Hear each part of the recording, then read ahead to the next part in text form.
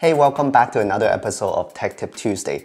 Today we're going to learn about how to do a split screen on your iPads. Uh, it can be an iPad Pro, it can be a regular iPad as long as it's not the iPad mini second generation or before, then you can definitely do the split screen. Let's take a look. It's actually quite easy, but not all the apps are able to do split screen. So not every app is compatible with this feature right here, but all native Apple apps usually they will support it. So this is what I would do usually. I will have my favorite apps moved to the dock because that's how you can call out the uh, split screen feature. You have to have the app moved to the dock. Okay, so I will open up the Keynote app. Let's say I am preparing for a presentation and I want to capture some pictures from the internet. Uh, of course, like if it's for public use, then you shouldn't do it. But this is just for an example. I can swipe up from the very bottom just by a little bit, not too much. If I swipe up too much, it will call out the multitask screen or close the app completely.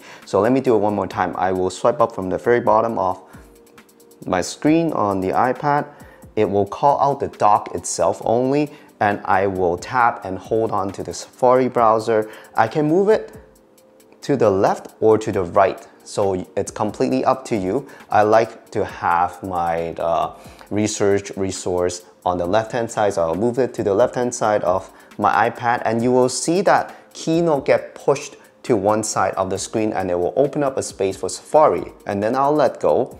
It will open up a window for Safari browser. And let's say I have some really cute kitty picture here and I want to move one of them to my keynote presentation. All I need to do is to tap and hold on to that picture and it will become a floating picture. I can drag it. You can see that I have a plus sign already. When it gets to the top of my slideshow, I can just let go and it will just pull the picture to my keynote. That's the power of using split screen on your iPad. And if you want to adjust the window size of those two apps that you have open, all you need to do is to drag this bar left and right, and you can adjust the size. Some apps, they don't allow you to have this tiny window size, and that's just the way it is. Let's say if you want to close both apps by swiping from the bottom, and when you open up either one of those apps again, you will see the same split screen again until you do this gesture to close one of the apps. It's pretty easy, right?